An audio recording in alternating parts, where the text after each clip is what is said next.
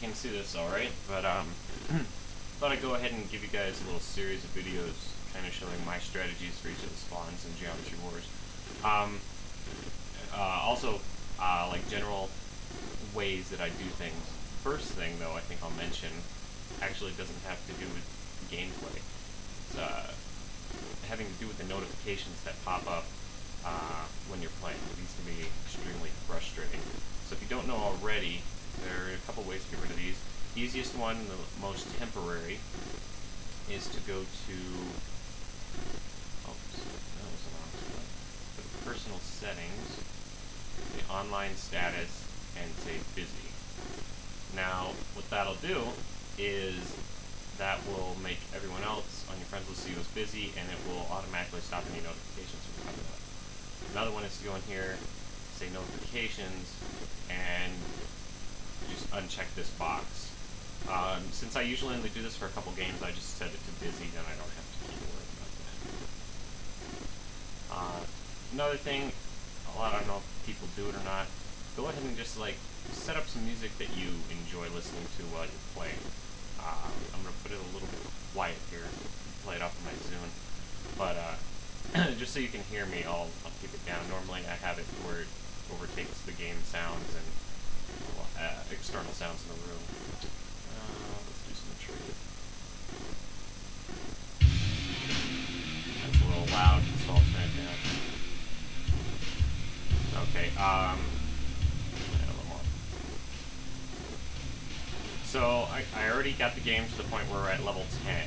Um, if you don't know what that means, basically it means there's no more, there's no higher level of difficulty you can get. The game has reached its peak uh, in terms of difficulty, and these are the hardest spawns you'll encounter. These are the ones I'm going to do the, I guess, tutorials for first. If people want, I can do lower level uh, tutorials, but they're harder to do because the lower difficulties happen at essentially random points, depending on the game. It just depends on how that game is going for you at that particular time. I'm going to start off right here. I just died. so as I play, I'm going to explain my reasoning for doing things and my general strategies for what I'm dealing with. Okay, I always am shooting, almost always. Okay, so this is called Variety Spawn. Um, basically you want to deal with these in corners. Sometimes when you get a large trail of those red clone ships, you want to go ahead and activate those black holes. Okay. I didn't mean to die there, but it kind of helps to serve my point. You can do this generally on every uh, four corner variety spawn, like that. Uh, same general strategy, even if you're not in the same position or at the same side or same corner or whatever, or you just finished some other spawn, go ahead and pick the corner that you can get to the safest and get there as soon as you can and either activate black hole and run away, drawing enemies there, or destroy the black hole and it will repel any enemies that are chasing you.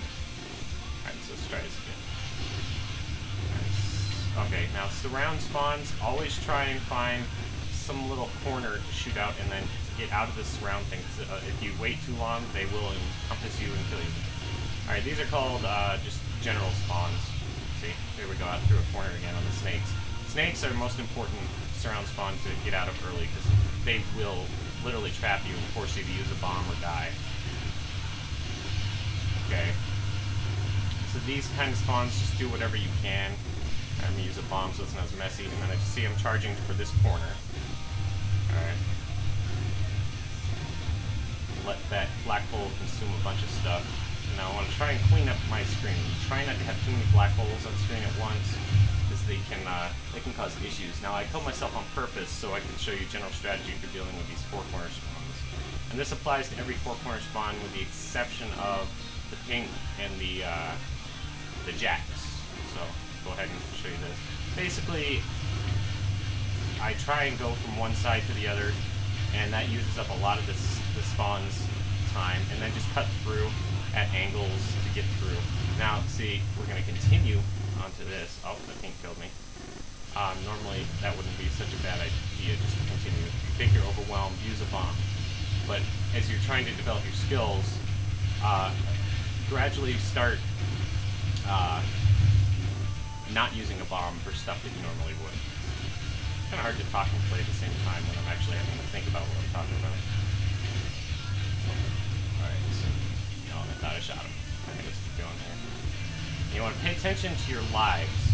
Um, if they get too low, you can have a problem. Oh, shouldn't died there. but usually if mine hit 4, I start paying attention, because you don't want to be in a position where your game is going to end. Yeah, close, okay. You don't want to be in a position where your game is going to end just because there's something you couldn't avoid. At that point, your lives become more important than your bombs. Before then, since they take longer to get 100,000 points compared to 75,000, that's how you see that was how you go through a four pointer. Uh, bombs become are usually more valuable. Alright, so let's go with these. The green are a little different four corner spawn.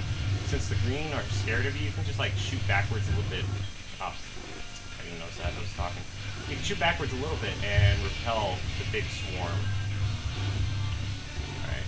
And you'll notice every uh, surround spawn, with the exception of the snakes, you have a slight second before uh, the enemies that are appearing actually will affect you and kill you. Um, this is very important. So you can be literally up against the wall and touching these enemies that are warping in, and they won't hurt you unless they're snakes. Okay, that was too close, so we're going to bomb that. Alright, so we'll just keep going around you notice I'm going in what's called the circle straight. Uh, this is usually the most effective strategy. Actually, I don't know of any high scorers that use anything but this.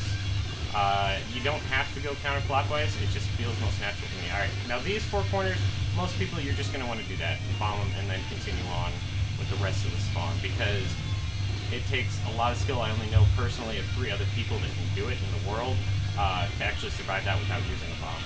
So, most people watching this don't even bother trying, and that's not being elitist or anything, that's just uh, good advice. Alright, and see, you notice these um, small guys from the exploded uh, black holes. Most people, as soon as they see them, they freak out and they bomb. Oh, that was my bad. I should have bombed that.